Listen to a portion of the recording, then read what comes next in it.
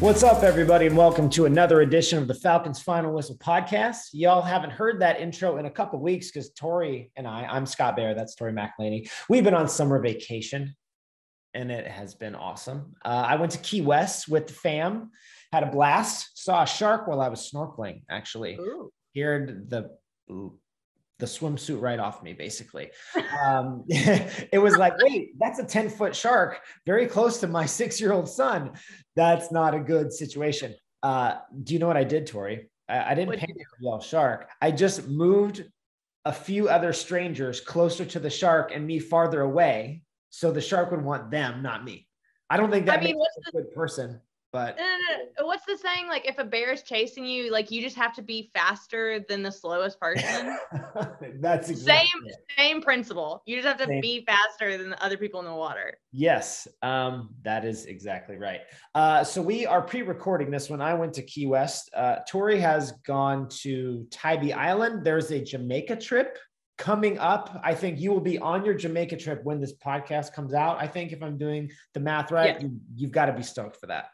I cannot wait. I'm going with one of my friends who is from Jamaica. So we're doing the true Jamaican experience because we're staying with her grandmother for a couple of nights. So it's gonna be it's gonna be fun. Will, will will there be any time for you to have a cocktail with a tiny umbrella in it, though? Oh, that'll be so we're staying at an all-inclusive resort like the first three nights that we're there. So I will only be drinking things if they have a tiny umbrella in. I feel like that's essential because heading into training camp, our lives formally end and we turn ourselves over to the Falcons machine as they try to improve and continue building in Terry Fontenot and Arthur Smith's second season. How about that for a transition? Huh? Loved it. Um, it we we're heading into this training camp, which I think I don't know what you think. I think is intriguing as heck, right? Because there is so much competition. How many times have we heard "prove it"? Uh, you know, earn your role, right? There's going to be. I, th- I think there's more training camp competition than any um, camp that I've covered, whether it was the Falcons or the Raiders or the 49ers in several years. And I think Yeah. there are several intriguing areas where there's going to be a lot of drama, right? That we really don't know who's going to start, who's going to have these bigger roles. And over the course of the next 15, 20 minutes, we're going to talk about those specific areas, the, the three kind of big storylines that Tori and I are focusing on as we head into training camp. Um, oh, and by the way, we've got some freaking awesome stuff coming up during training camp. We're talking about live podcasts. We're talking about player guests. Uh, so much fun stuff coming up on the Falcons final whistle. But before we get to that, we have to talk about what's coming up. And Tori, what's what's what's a storyline that you're going to have your eye on as we start to get into late July and August, and we move towards the uh, regular season? I think this isn't a very uh I don't even know what the word is. It's not like a very sexy answer to say the line of scrimmage and offensive line and defensive line, but I'm going to say it because I think every good thing that could happen for the Falcons to me it starts it begins and ends at the line of scrimmage. And I can't look at this 2022 Falcons team and not look at this line of scrimmage and hope that there is significant improvement from 2021 to 2022 both on the offensive and defensive line. For the offensive line, it's protecting the quarterback, whoever it may be, though I'm saying right now it's going to be Marcus Mariota, but you know, don't come for me. Uh, but it's protecting him. It's making sure that he has time in the pocket. It, it- it's all of these things that we we need to see an improvement on. Then with the defensive line, I know we're going to talk about it. It's getting after the quarterback. It's getting the guy off of his spot and not letting him leak out the sides. I mean, that's these are all things that are very important to any success the Falcons may have in 2022. Yeah, and I look at it. This team has a bunch of intriguing skill players. I want to see what Tyler Allgeier can do. I want to see Mhm. what Drake London can do, and Kyle Pitts in his second year. And I think Bryan Edwards is on the verge of a breakout year. None of those guys can do anything if if they are not protected, right? And I think here's the weird thing is that we talk about competition, competition, competition, challengers, right?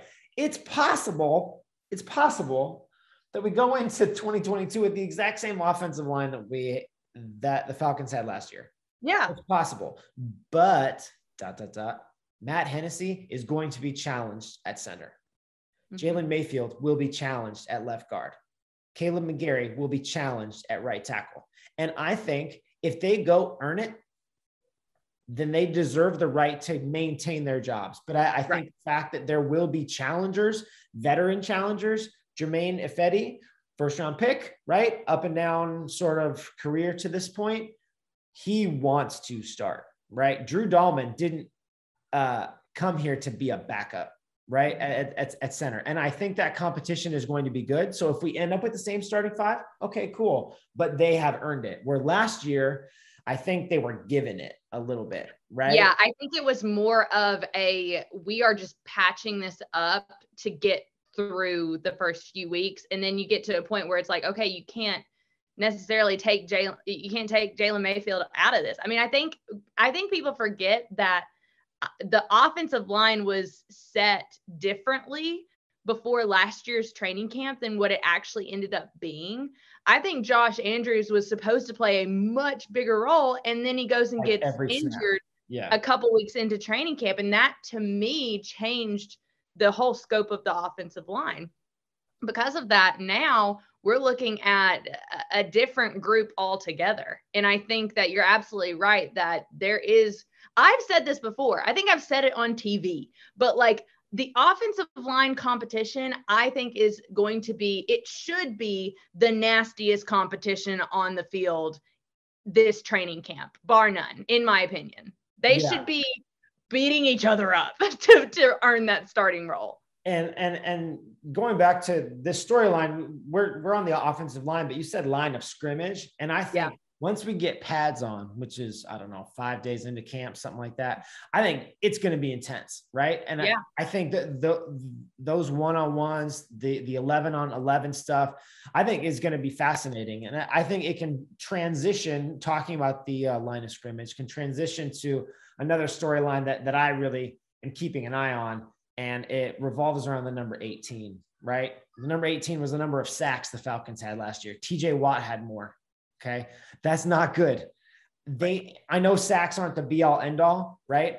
But I think that's an indicator. Those are game changing plays. Sacks can come with strip sacks, sacks can force a punt, sacks can change the course of an offensive series in addition to the fact that the Falcons weren't very good at doing the basics, right? Uh, c- containing mobile quarterbacks, keeping guys in the pocket, forcing errant throws, getting your hand up and knocking the ball down, right? Basic stuff that needs to get better. So, with the defensive line, we're kind of we the Falcons are hoping for better from the same, right? Grady Jarrett, Ta'Quon Graham, Marlon Davidson. Potential hasn't been realized yet. Has to get better. Off the edge, Lorenzo Carter. I will not stop talking about this dude. I think he's poised for a breakout year. I know it kills Tori because I give him so many compliments that she doesn't have a chance to.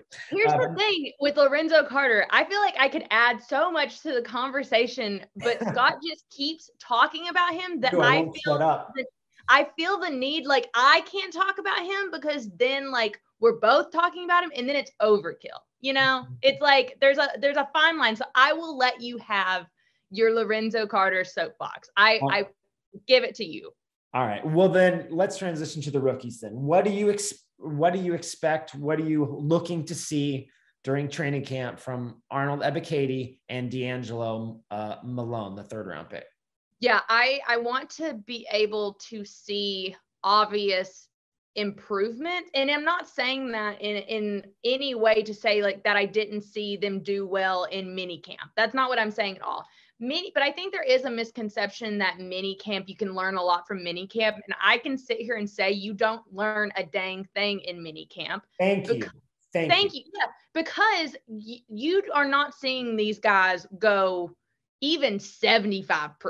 Like there aren't there, there aren't pads on, no one's hitting, there's no tackling, there's no running like and so you don't get to see these guys really get after it in the way that you need to see in order to understand what they need to do and improve on. So, for training camp purposes, I want to see exactly like what we're talking about with the offensive line. I want to see Arnold Ebiketie, D'Angelo Malone, Ade Ogundeji, Lorenzo Carter. I want to see them get after it. I want to see them be able to make some things happen um, when they are playing in those more live settings. Uh, and I do believe that we are going to learn a lot more when we get into the joint practices with New York and Jacksonville. I think those those four practices to me are the most important days of training camp. And I would hope that by the time we get to week one, that we see a guy like Arnold Ebiketie. Maybe he's not starting in the very first package or the very first rotation, but he should be in in that rotation. You know, like he should be a big part of it. And I think like the expectation for a guy like Arnold Ebiketie isn't necessarily to start day one, week one of the season. It's to develop into that guy. I'm okay with not seeing him be a full time starter until halfway through the season because I want to see him improve. I want to see I don't want to see a linear line. I want to see it go up. I want I want to see the production go up as the year goes on. That's that's the hope that I have for Arnold Ebiketie's year and D'Angelo Malone too. I, I don't want to not talk about him, but mainly Arnold Ebiketie. Yeah, I, I think if you're being a negative Nancy, you would say uh, that Arnold Ebiketie is a one-year wonder, right? That that he had a great year at Penn State, some decent years at Temple. There are some draft nicks that thought he was a first-round pick, that he belonged in that um, elite class. I, I think he has all the tools. I think he has the right mindset, guys. Once you get to know him, you're gonna dig him. He is just a cool dude, um, personality plus, and uh, comes with a great backstory that we'll have features about. Uh, but but but nonetheless, I I think it's going to be interesting for him. I think D'Angelo. I just want to see him as that like rabid dog being held by the leash and then somebody just like lets go of it right like i want him to do that i want his one job to be like see that quarterback right there go tackle that dude and, well that's what he was that's what right. he was in uh at western kentucky i mean i talked to uh, scouts and assistant coaches, if you read my rookie series, like you know, that was D'Angelo Malone's role at Western Kentucky. They were just like, D'Angelo, sick him. That's literally that's literally what Ted Monachino said they did with him. And so translating that to the league, I completely get what you're saying.